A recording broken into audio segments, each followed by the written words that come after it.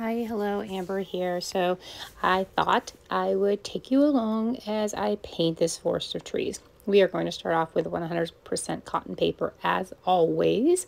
I'm going to tape down four sides, all four sides as always, just personal preference. You don't have to, but it does help keep the paper to lie flat. And that is quite nice, especially when you're working a lot of water and spraying your paper often. I did spray my paper lightly I'm going to go in with a kind of a lighter gray that I mixed up with some blue and burnt sienna and a little bit of granite from Masha. I just mixed on my palette next to me. I always like to mix on a palette to kind of see how much pigment I'm getting. I did speed this up just a little bit in some bits and pieces here. You can always go back in and slow it back down under your settings if that's something that you'd like to do.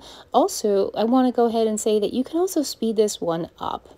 Uh, my voice will sound funny, of course, but you don't have to listen to the whole thing. As a matter of fact, I might even speed it up and turn on some music halfway through. We'll decide how repetitive it gets. Since this is all trees, I do want to talk about how to paint trees and some things to try and such things like that. But I also don't know that I can talk about that for 20 minutes straight. I mean, I could, but I don't know that you want to hear about it for 20 minutes straight. So after I got my sky in, I did dry it completely and then I misted my paper one more time with some fine mist. I am using a liner style brush here to paint these trees.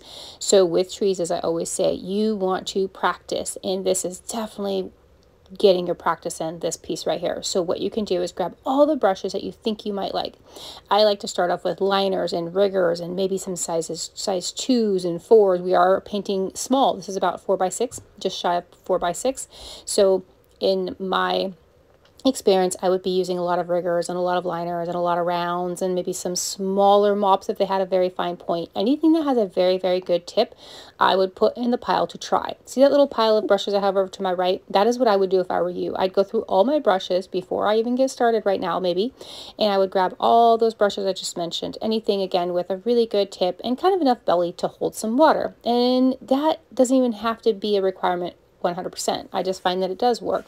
As you see, I am dipping, dipping my brush often, so this one doesn't necessarily hold enough for me.